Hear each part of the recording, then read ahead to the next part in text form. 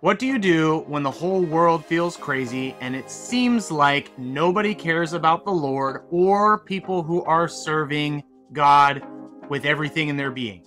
That is exactly what we're going to be talking about today on the podcast. We are looking today at Psalm 26, 40, 58, 61, and 62, and then 64.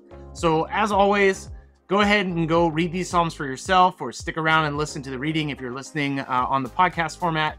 Um, today, what I'm going to do is just j- dive us right into Psalm 61 and 62. When I read over these group of Psalms, these are the two that really stuck out to me. And I was pretty interested in them. Psalm 61 is pretty short.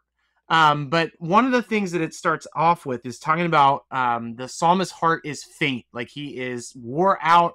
He's sad about what's going on. I think you get the feeling that he's frustrated or confused. And then Psalm 62 actually gives even more context to the world that the psalmist is living in. Both of the Psalms, 61 and 62, have this feeling of, I think I'm the only one that cares about the Lord. I think I'm the only one that's being faithful.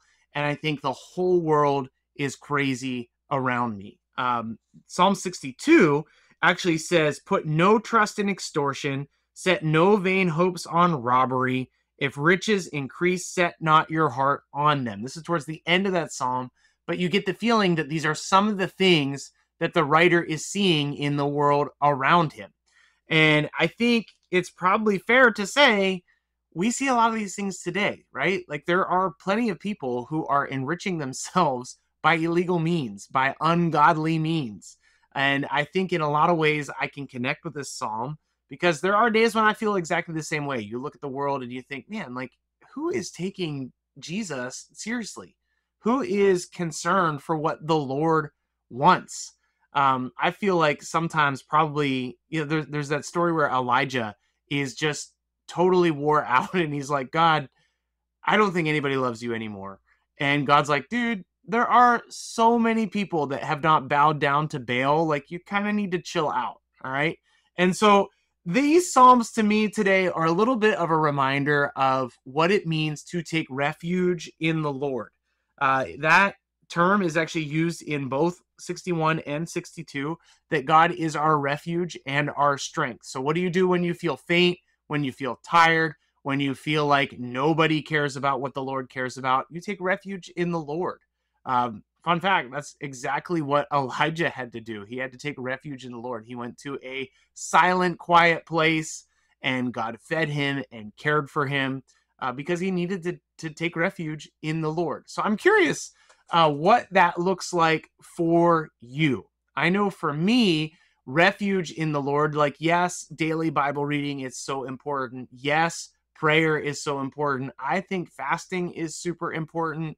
Um, but when I get like tapped out and I feel like I am pulled to the full extent of who I'm in and I can't take anything else. A lot of times I got to go to the woods. I know that sounds kind of goofy to some of you, maybe, um, but there is something about being in the peacefulness of the woods, the forest, uh, where I feel really close to God and I feel like God can refresh me um, and draw me even closer to Him. So there are times in my life where I feel just crazy, you know, whether it's work stuff or ministry stuff or family stuff. Um, and I gotta I gotta go to the woods. My wife actually knows like, hey, I gotta go do some hunting. I gotta go do some fishing. Uh, I gotta go on a hike uh, because I just feel like I'm distant from the Lord. And I think to take refuge in God is partially what that means. Like to know how you relate to God, to know how you draw yourself closer to God, and to be able to do those things. I'm not by any means saying that all of you need to become hikers or hunters or fishermen. I'm just suggesting that it's it's pretty cool to try to discover ways uh, that you connect well with the Lord. Uh, there's actually a book about that called Sacred Pathways, where there's different ways that different people connect with the Lord. And it's not some kind of weird new agey thing. It's just recognizing that all of us are made uh, unique were made differently. And so there are different ways that we connect with the Lord. And so for me, going to the woods is fantastic. Uh, actually, sitting in silence and solitude is fantastic. I know some of you probably think that sounds like torture. Um, but taking refuge in the Lord is super important. And when we take refuge in the Lord, um, He hears us and He cares for us, and He does not allow us to be shaken. Look at Psalm 62, uh, verse 1 and 2. For God alone my soul waits in silence. From Him comes my salvation. He alone is my rock and my salvation, my fortress. I shall not be greatly shaken. How long will all of you attack a man to batter him? like a leaning wall or a tottering fence. They only plan to thrust him down from his high position. They take pleasure in falsehood. They bless with their mouths, but inwardly they curse. This is him talking about the world that he lives in again. That this is an, an evil world that enjoys attacking people who are kind of wiggly, not super firm. Uh, they enjoy lying. They enjoy cursing. Like, this is not a happy place to be. But when we seek the Lord's presence, Guys, when we seek the Lord's presence, He is our rock and our salvation. Uh, it was a couple days ago we read that He will not allow the righteous to be moved. Uh, when you when you have faith in God, He takes care of you, and He's not going to let you be shaken, even though the world around you seems crazy. And I can say, like I have, I've seen that in my own life. Uh, I've seen that in the lives of people around me. I see that like people become so faithful when they're dealing with very, very difficult circumstances, very trying situations. And I think it's because when you draw near to the Lord, uh, He takes care of you. He is your rock and your fortress, and you don't have to be afraid and you don't have to be shaken. And so I don't know what that looks like for you today. Uh, what I would love to do for you today is if you are dealing with difficult things personally, like there's something in your mind that's like, man, this is tough and I don't know what I'm going to do about it make sure that God is your refuge and your strength. Maybe you need to find some way to reconnect with the Lord or draw closer to the Lord through one of those sacred pathways.